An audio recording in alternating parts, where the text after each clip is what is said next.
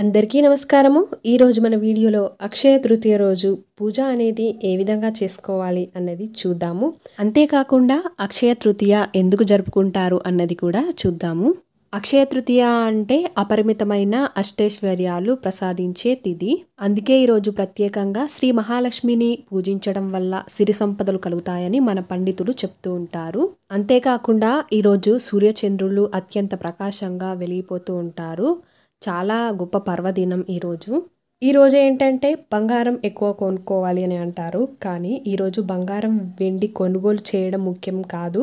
దానాలు అనేవి మనకు అక్షయాన్ని ఇస్తాయి. అందుకే అక్షయ తృతీయ తెచ్చుకోవడానికే కాదు ఇవ్వడానికి కూడా అని మనం తెలుసుకోవాలి. ఈరోజు దానం చేస్తే గ్రహదోషాలు పూర్వకర్మ ఫలితాలు తొలగిపోతాయి. శ్రీ మహావిష్ణువును చందనంతో పూజిస్తే విష్ణులోకం ప్రాప్తిస్తుంది. అక్షయ తృతీయ రోజున జపము హోమము పితృతర్పణము దానము అన్నీ కూడా అక్షయ ఫలితాన్ని లభిస్తుంది. నిత్యం భగవంతుని ఆరాధనలో ఉండేవారికి దానం చేస్తే గ్రహ దోషాలు అనేవి తొందరగా తొలిపోతాయి ఈరోజు ఇంట్లో పూజ అనేది ఏ విధంగా చేసుకోవాలి అంటే ఈ పూజ అనేది మనం ఏ టైంలో అయినా చేసుకోవచ్చు ఉదయం చేసుకోవచ్చు సాయంత్రం చేసుకోవచ్చు. సాయంత్రం చేసుకునే వాళ్ళైతే ఉదయం అన్నం తినకుండా చేసుకోవాలి. ఇంట్లో ఈశాన్య మూలలో పసుపుతో అలికిన పీటర్ వేసి ఎర్రటి వస్త్రాన్ని పరిచి లక్ష్మీనారాయణ విగ్రహాలను పెట్టుకోవాలి. లేదంటే లక్ష్మీదేవి విగ్రహమైన నారాయణ విగ్రహమైన పెట్టుకొని చేసుకోవాలి. లేదంటే లక్ష్మీ అమ్మవారిని పెట్టుకొనైనా కూడా చేసుకోవచ్చు. తర్వాత వెండి దీపాలు లేదా ఇతరపు లోహపు దీపాలు ఏవైనా కూడా పెట్టుకొని ఆవు నేతితో కానీ నువ్వుల నూనెతో కానీ దీపాలను వెలిగించుకోవాలి. ధూపం అగరబత్తులను కూడా వెలిగించుకొని పూజ సమయంలో పసుపు కుంకుమ అక్షంతలను భగవంతునికి సమర్పిస్తూ పూజ అనేది చేసుకోవాలి. పూజకు ముందు కొబ్బరికాయ పండ్లు నైవేద్యములు అన్నీ కూడా పీట పైన పెట్టుకొని అన్నీ కూడా మనం రెడీ చేసుకోవాలి. తర్వాత మూడుసార్లు నీళ్ళను తాగి తర్వాత చేతులకి కొన్ని అక్షంతలను తీసుకొని మంత్రాలను చదువుతూ అప్పుడు మనం ఆచమనీయం అనేది చేసుకోవాలి. తర్వాత భూశుద్ధి చేసుకోవాలి. ప్రాణాయామం చేసిన తర్వాత సంకల్పం అనేది చెప్పుకొని వినాయకుడికి లక్ష్మీదేవికి నారాయణుణ్ణి పెట్టుకుంటే నారాయణుడు కూడా సమర్పించుకోవాలి. కలశ పూజ అయిపోయిన తర్వాత కలశంలోని నీళ్ళను దేవుని పటాల మీద ఇంకా మన మీద చివరగా ఇల్లు మొత్తం కూడా శుద్ధి చేసుకోవాలి. ఇలా చేసుకుంటే ఇల్లు అనేది పవిత్రంగా మారుతుంది. తర్వాత మనం ఏ పూజ చేసినా మొదటగా వినాయకుడిని పూజిస్తాం కాబట్టి ముందుగా వినాయకుడిని అయితే ఆహ్వానించి వినాయకునికి షోడోపచార పూజ అనేది చేసుకోవాలి.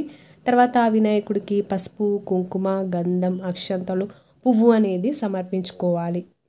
మీకు వినాయకుడి అష్టోత్తర శతనామావళి వచ్చినట్లయితే వినాయకుడికి అష్టోత్తర శతనామావళి అనేది చదువుకోవచ్చును. తర్వాత వినాయకునికి దీపాన్ని చూపెట్టి ధూపాన్ని కూడా చూపించిన తర్వాత మంగళహారతి అనేది ఇచ్చి నైవేద్యం కూడా చూపెట్టి ఆ తర్వాత కర్పూర హారతితో గంట కొడుతూ కర్పూర హారతి అనేది ఇవ్వాలి. ఇక్కడ మీకు వినాయకుడికి కొబ్బరికాయ కొట్టాలనుకుంటే కొబ్బరికాయ కూడా సపరేట్గా కొట్టుకోవచ్చును. వినాయకుని పూజ అయ్యాక వినాయకుడిని కుడివైపు కదిపి యథాస్థానంలో పెట్టుకోవాలి. ఆ తర్వాత మనం అక్షయ తృతీయ లక్ష్మీదేవికి భక్తి శ్రద్ధలతో పూజ చేసినట్లయితే మన బాధలన్నీ కూడా తీరిపోతాయి.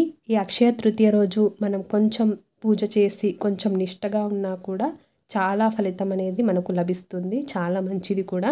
ఆ తర్వాత లక్ష్మీదేవిని ఆహ్వానం చేసి లక్ష్మీదేవికి కూడా షోడోపచార పూజ అనేది చేసుకోవాలి.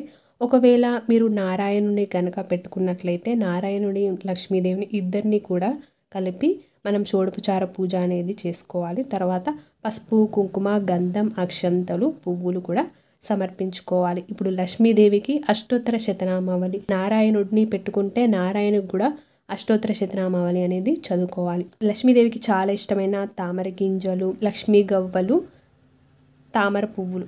ఇలా వీటితో పూజ చేస్తే అమ్మవారికి చాలా ఇష్టం.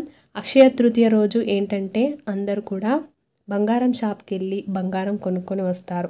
ఆ బంగారాన్ని కూడా అమ్మవారి ముందట పాలతో కడిగి అమ్మవారి ముందు పెట్టి ఆ తర్వాత ఆ బంగారానికి కూడా మనం పూజ చేసుకోవచ్చు. ఇలా అమ్మవారికి ఈ గవ్వలు తామర పువ్వులు తామర గింజలు. వీటితోనే మనం పూజ అనేది చేసిన తర్వాత హారతి అనేది మంగళహారతి అనేది ఇవ్వాలి. మంగళహారతి ఇచ్చిన తర్వాత నైవేద్యాన్ని కూడా అమ్మవారికి చూపెట్టాలి. ఇక్కడ నేను లక్ష్మీదేవికి చేసి చూపిస్తున్నాను. మీరు నారాయణుడు లక్ష్మీదేవికి కలిపి చే ఇలానే చేసుకోవాలి. ఇప్పుడు అమ్మవారికి తాంబూలం అనేది సమర్పిస్తున్నాను. రెండు తమలపాకులు కుడక పోక ఖర్జూర ఒక పువ్వు రెండు అరటి పండ్లు. ఒకవేళ మీకు వీలుంటే రెండు జాకెట్ పీసులు కూడా పెట్టుకోవచ్చు చీర కూడా పెట్టుకోవచ్చు.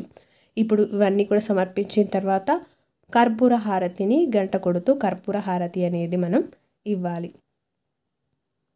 ఇప్పుడు కొన్ని నీళ్ళను ఆ కర్పూర హారతి చుట్టూ కూడా తిప్పి అమ్మవారికి చూపెట్టి మనం కూడా తీసుకొని ఇల్లంతా కూడా చూపెట్టాలి. ఇప్పుడు కొన్ని అక్షంతలు ఒక పువ్వు చేతిలోకి తీసుకొని మంత్రపుష్పం చెప్పుకొని అమ్మవారి దగ్గర పెట్టుకోవాలి.